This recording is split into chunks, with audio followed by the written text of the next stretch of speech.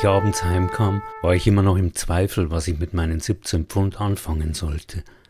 Hilda sagte, sie gehe zur Buchgemeinschaftsversammlung.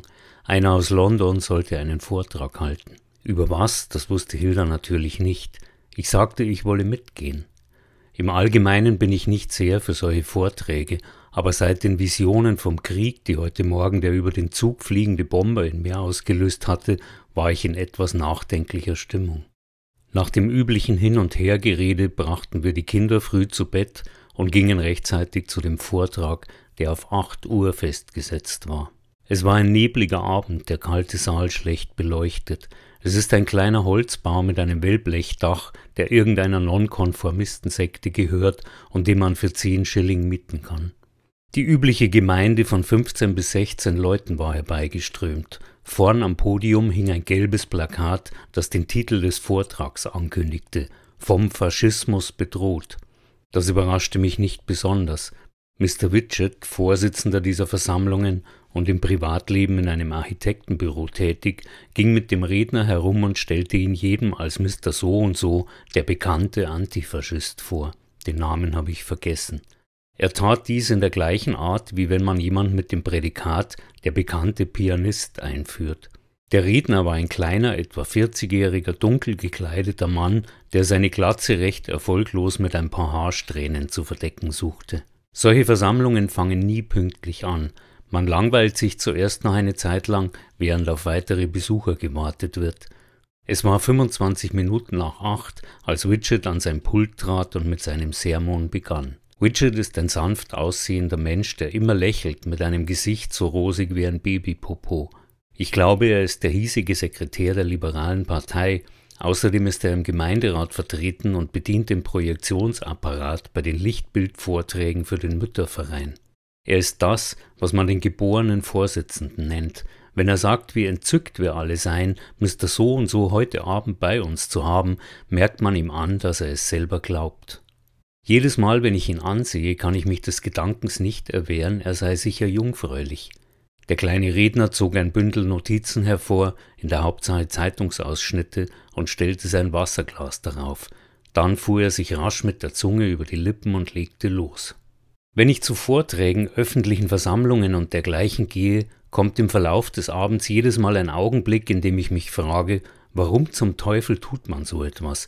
Was zieht die Menschen an einem Winterabend in so einen Vortrag? Ich blickte mich im Saal um. Ich saß in der letzten Reihe. Ich kann mich an keine Versammlung erinnern, wo ich nicht in der letzten Reihe gesessen hatte, wenn ich es irgendwie einrichten konnte. Hilda und die anderen hatten sich wie immer vorne niedergelassen. Es war ein düsterer kleiner Saal. Man kennt ja solche Räume, Wände aus Kiefernholz mit einem Wellblechdach und so viel Zugluft, dass man gerne den Mantel anbehält. Unser kleines Häuflein hatte sich unter dem Licht um das Podium gruppiert, dreißig leere Stuhlreihen hinter uns, sämtliche Stühle waren staubig, hinter dem Redner auf der Bühne stand ein großes viereckiges Ding, das mit grauen Tüchern verhüllt war und ein riesiger Sarg unter einem Leichentuch hätte sein können. In Wirklichkeit war es ein Klavier. Zuerst hörte ich nicht genau zu. Der Vortragende sah recht schäbig aus, aber er war ein guter Redner. Blasses Gesicht, flinkes Mundwerk und die heisere Stimme, die man vom vielen Reden bekommt. Natürlich fiel er über Hitler und die Nazis her. Es war nicht gerade aufregend, was er sagte. Man bekam genau dasselbe jeden Morgen im News Chronicle vorgesetzt. Seine Stimme drang zu mir herüber wie ein monotones Wah, Wah, Wah. Nur hin und wieder hob sich ein Satz heraus und ließ mich aufhorchen.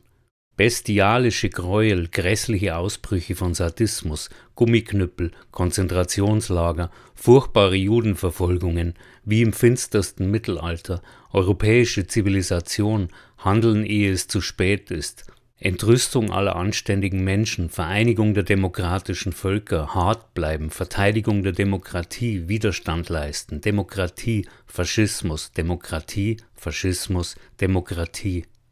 Diese Brüder lassen ihre Platte eine Stunde lang ablaufen wie ein Grammophon. Die Kurbel drehen, einschalten und dann geht es los. Demokratie, Faschismus, Demokratie. Aber es war interessant, ihn zu beobachten. Ein recht unsympathischer kleiner Mann mit blassem Gesicht und Glatze stand da auf dem Podium und warf mit Schlagworten um sich. Was tat er? Er schürte wohlüberlegt und ganz offen den Hass. Benutzte die schlimmsten Ausdrücke, um einen Hass gegen gewisse Ausländer, Faschisten genannt, zu wecken. Ist doch recht seltsam, dachte ich, bekannt zu sein als Mr. So und so, der bekannte Antifaschist. Ein fragwürdiges Geschäft, der Antifaschismus. Ich glaube, diese Burschen leben davon, Bücher gegen Hitler zu schreiben. Aber was tat er, ehe Hitler an die Macht kam? Und was wird er tun, wenn Hitler verschwindet? Dasselbe könnte man natürlich Ärzte, Detektive, Rattenfänger und andere fragen. Doch die heisere Stimme rasselte endlos weiter. Da kam mir plötzlich ein neuer Gedanke. Er meint es ernst. Das ist gar kein Schwindel. Er empfindet jedes Wort genau so, wie er es sagt. Er versucht bei den Zuhörern Hass zu wecken, aber das ist noch nichts gegen seinen eigenen Hass. Jedes Schlagwort ist für ihn wie ein Evangelium. Wenn man ihn aufschnitte, wäre alles, was man in ihm fände, Demokratie, Faschismus. Es wäre interessant, einen solchen Menschen im Privatleben zu kennen. Aber hat er überhaupt ein Privatleben oder rennt er nur von Podium zu Podium, um Hass zu säen? Vielleicht bestehen sogar seine Träume aus Schlagworten. Soweit es von der letzten Reihe aus möglich war, betrachtete ich mir das Publikum. Ich glaube, wenn man sich die Sache näher ansieht, so kommt uns, die wir an Winterabenden fortgehen, um in zugigen Sälen den Vorträgen in diesen Left Book Clubs zu lauschen, eine gewisse Bedeutung zu. Ich denke doch, dass ich zu dem uns berechtigt bin, denn ich habe es bei dieser Gelegenheit ja selbst getan. Wir sind die Revolutionäre von West Bletchley. Das sieht auf den ersten Blick nicht sehr hoffnungsvoll aus. Es fiel mir auf, als ich so um mich blickte, dass nur ein halbes Dutzend der Zuhörer wirklich begriffen hatte, wovon der Redner sprach, obwohl er bereits über eine halbe Stunde auf Hitler und den Nazis herumhackte. So ist es bei solchen Versammlungen immer. Die Hälfte aller Menschen hat keine Ahnung, um was es überhaupt geht. In seinem Stuhl neben dem Pult saß Widget und betrachtete verzückt lächelnd den Redner. Sein Gesicht sah dabei einer rosa Geranie nicht unähnlich. Man konnte sich jetzt schon vorstellen, was er sagen würde, wenn der Redner sich gesetzt hatte. Dasselbe, womit er den Lichtbildvortrag über die Bekleidungshilfe für die Melanesier abschloss. Unseren Dank sagen, unser aller Meinung ausgesprochen, höchst interessant, gibt uns viel zum Nachdenken mit nach Hause, sehr anregender Abend. In der vordersten Reihe saß kerzengerade Miss Minz, den Kopf wie ein Vogel etwas zur Seite geneigt. Der Redner hatte ein Blatt Papier unter dem Wasserglas hervorgezogen und las eine Statistik über die Selbstmorde in Deutschland vor. Beim Anblick von Miss Minz langem, dünnem Hals sah man, dass sie sich nicht recht wohl fühlte. Gehörte das nun zur Weiterbildung oder nicht? Wenn sie nur begriffe, um was es überhaupt geht. Die beiden anderen saßen da wie Puddingklumpen. Neben ihnen strickte eine kleine rothaarige Frau an einem Pullover, eine rechts, zwei links, eine aufnehmen und zwei zusammenstricken. Der Redner beschrieb, wie die Nazis die Verräter enthaupteten und manchmal schlage der Scharfrichter nur so zum Spaß zu. Es saß noch eine andere Frau unter den Zuhörern, ein dunkelhaariges Mädchen, Volksschullehrerin. Im Gegensatz zu den übrigen hörte sie wirklich zu, beugte sich vor und heftete ihre großen runden Augen auf den Redner, mit leicht geöffneten Lippen sog sie seine Worte ein. Hinter ihr saßen zwei alte Knaben von der örtlichen Labour Party. Der eine hatte kurz geschnittenes graues Haar, der andere Glatze und Schnurrbart. Beide hatten ihre Mäntel anbehalten. Der bekannte Typ. Sind seit Ewigkeiten in der Labour Party, haben ihr Leben der Partei geopfert. 20 Jahre lang haben sie auf der schwarzen Liste der Arbeitgeber gestanden. Zehn Jahre haben sie den Stadtrat bestürmt, etwas für die Armenviertel zu tun. Auf einmal ist alles anders. Das ewige Gezeter der Labour Party hat aufgehört. Sie finden sich plötzlich in die Außenpolitik gedrängt. Hitler, Stalin, Bomben, Maschinengewehre, Gummiknüppel, Achse Berlin-Rom, Volksfront, Antikom-Internbündnis. Wissen nicht, was Kopf oder Schwanz ist. Direkt vor mir saß die hiesige kommunistische Partei, alle drei sehr jung. Einer von ihnen ist zu Geld gekommen und ist irgendwas in der Hesperides Estate Company. Ich glaube, er ist sogar ein Neffe des alten Crumb. Ein anderer ist Bankangestellter. Er zahlt mir manchmal Schecks aus. Netter Bursche mit einem runden, sehr jungen, lebhaften Gesicht, blauen Kinderaugen und so hellem Haar, dass man meinen könnte, er bleichte es. Er sieht höchstens aus wie 17, aber sicher ist er schon 20. Er trug einen billigen blauen Anzug und eine leuchtend blaue Krawatte, die gut zu seinem Haar passte. Bei diesen dreien saß noch ein Kommunist, aber dieser gehörte wohl zu einer anderen Sorte. Er war kein hundertprozentiger, sondern das, was sie einen Trotzkisten nennen.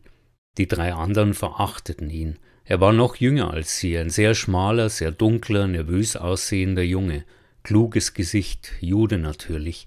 Diese vier nahmen den Vortrag ganz anders auf als die übrigen. Man sah ihnen an, dass sie sofort aufspringen würden, wenn die Diskussion begann.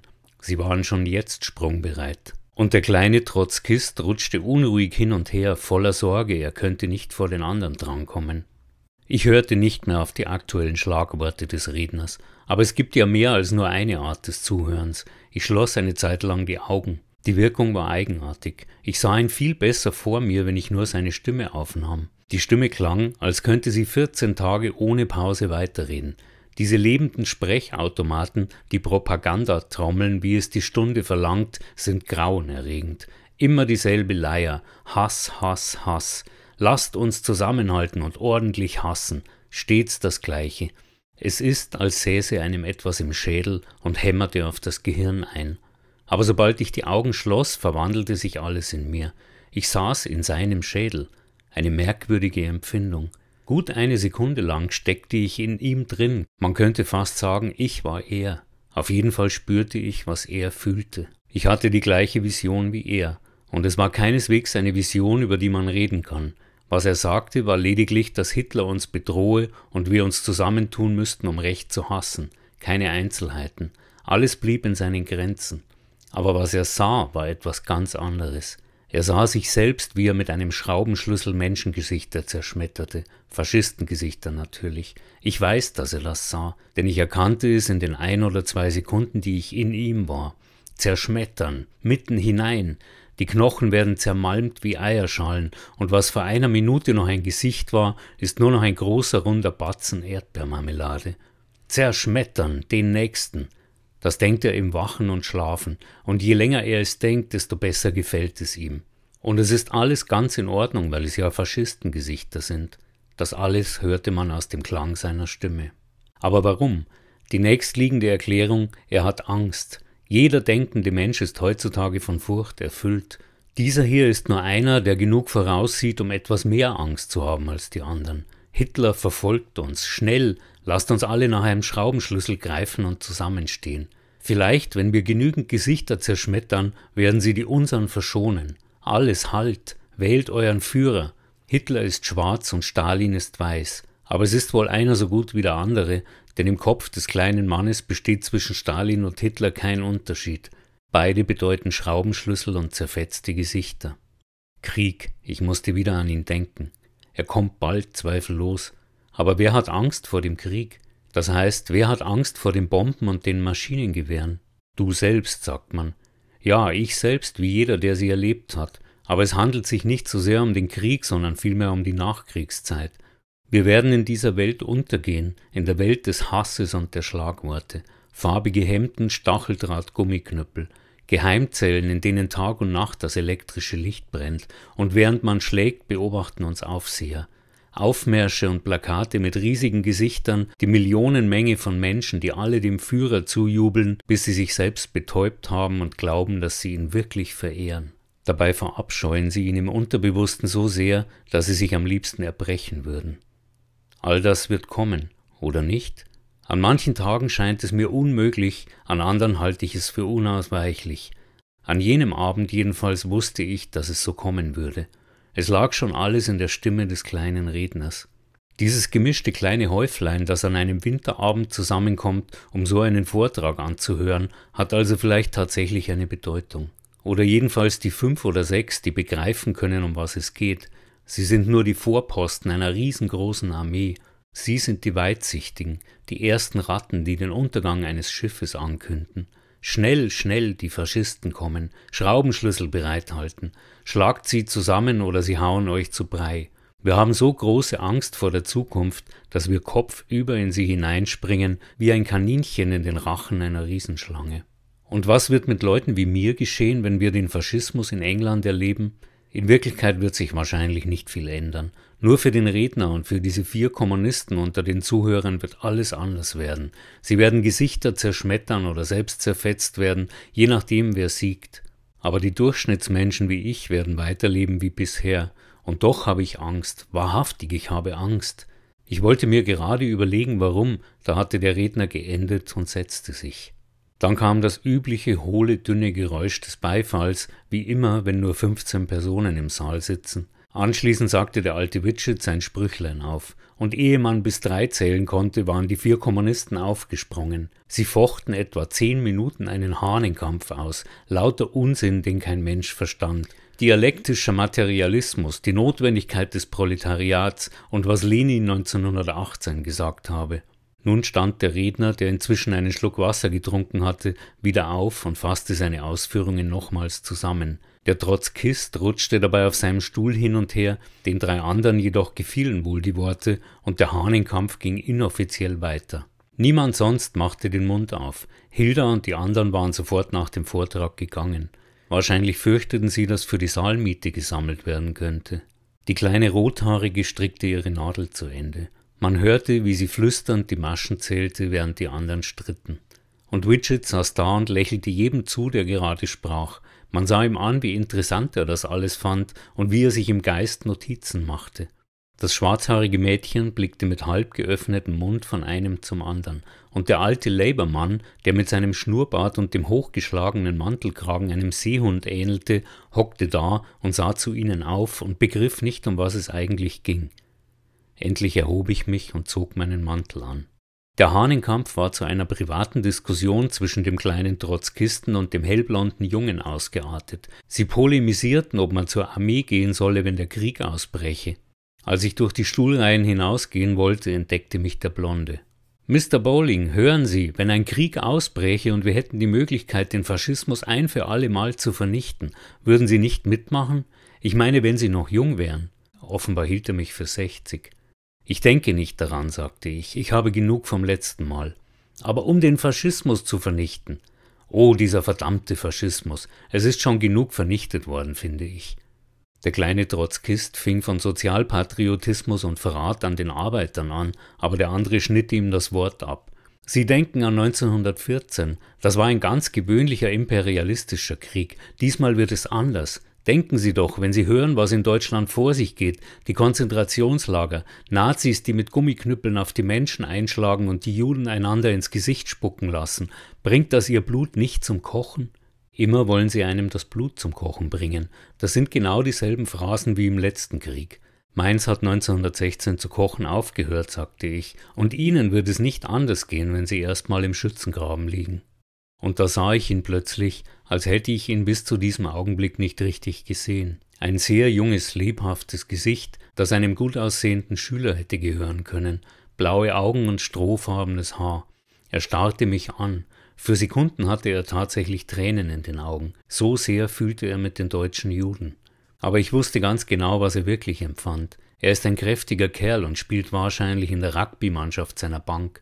Er ist auch nicht auf den Kopf gefallen. Und nun ist er hier, ein Bankangestellter in einer gottverlassenen Vorstadt, hockt hinter Milchglasscheiben, trägt Zahlen in ein Hauptbuch ein, zählt Banknotenbündel, katzbuckelt vor dem Chef. Und er merkt natürlich, wie sein Leben verfault. Unterdessen ist drüben in Europa der Teufel los. Granaten bersten über Schützengräben und ganze Wellen von Infanterie greifen unter Rauchwolken an. Vielleicht kämpfen einige seiner Genossen in Spanien. Natürlich sehnt er sich nach einem Krieg. Wie sollte man ihm das übel nehmen? Einen Augenblick lang hatte ich das Gefühl, er sei mein Sohn, was den Jahren nach möglich gewesen wäre. Und ich dachte an jenen drückend heißen Augusttag, als der Zeitungsjunge das Plakat anschlug, England erklärt Deutschland den Krieg, und wie wir dann alle auf die Straße hinausliefen und jubelten. Hören Sie, mein Lieber, sagte ich, Sie irren sich gewaltig. 1914 glaubten wir auch, es werde eine ruhmreiche Sache werden. Das war's aber nicht. Nur eine verdammte Schweinerei. Wenn es wieder so weit kommt, lassen Sie lieber die Finger davon. Warum sollten Sie sich Ihren Körper mit Blei spicken lassen? Bewahren Sie ihn für ein Mädchen auf. Sie meinen, der Krieg bestehe aus lauter Heldentaten und Viktoriakreuzen, aber ich sage Ihnen, es wird ganz anders. Es gibt heutzutage keine Bajonettangriffe mehr, und wenn, dann ist es nicht so, wie Sie es sich vorstellen. Sie fühlen sich dabei sicher nicht wie ein Held. Alles, was Sie dann noch denken, ist, dass Sie seit drei Tagen nicht mehr geschlafen haben. Sie stinken wie ein Iltis, machen in die Hosen vor Angst und haben so kalte Hände, dass Sie Ihr Gewehr nicht mehr halten können. Aber das ist alles nicht einmal so schlimm. Das Schlimmste kommt erst hinterher. Das alles machte natürlich keinerlei Eindruck. Sie denken halt, man sei altmodisch. Man könnte gerade so gut unter der Tür eines Sektiererlädchens stehen und Traktätchen verkaufen. Die Besucher standen auf und Richard begleitete den Redner hinaus. Die drei Kommunisten und der kleine Jude gingen zusammen die Straße hinauf und fingen wieder von vorne an. Solidarität des Proletariats, die Dialektik der Dialektik und was Trotzki 1917 erklärt habe. Sie sind im Grunde alle gleich.